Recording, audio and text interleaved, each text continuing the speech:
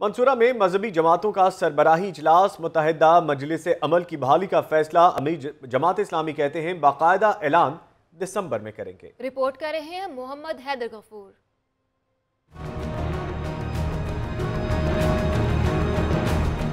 ملکی سیاست میں نئی ہلچل، منصورہ بنا سیاسی اتحاد کا مرکز، مذہبی جماعتوں کے سربراہوں کا اجلاس۔ سراج الحق، مولانا فضل الرحمان پیر اعجاز ہاشمی، پروفیسر ساجد میر، لیاقت بلوچ اور اکرم دورانی کی شرکت۔ امیر جماعت اسلامی سراج الحق کی میڈیا سے گفتگو۔ کہتے ہیں، متحدہ مجلس عمل کا اتحاد بن چکا۔ باقاعدہ اعلان دسمبر میں کریں گے۔ پاکستان سماجی اور معاشی مشکلات کا شکار ہے۔ تمام مسائل کا حل میرٹ اور قانون میں ہے۔ پاکستان اس وقت جن مشکلات سے دو چار ہے وہ معاشی مشکلات بھی ہے سماجی مشکلات بھی ہے بین الاقوامی دباؤ بھی ہے ان تمام مسائل کا حل اس ملک میں میرٹ قانون اور آئین کی حکمرانی ہے۔ مولانا فضل الرحمان کا کہنا تھا کہ متحدہ مجلس عمل کی سٹرنگ کمیٹی نے جو تجویز دی اس پر عمل کریں گے اور نئی صرف بندیوں سے واضح پیغام دیں گے۔ ایک نیا ٹاسک ہم نے کچھ اور ایشوز کو طے کرنے کے لیے اسٹیئرنگ کمیٹی کو دیا ہے۔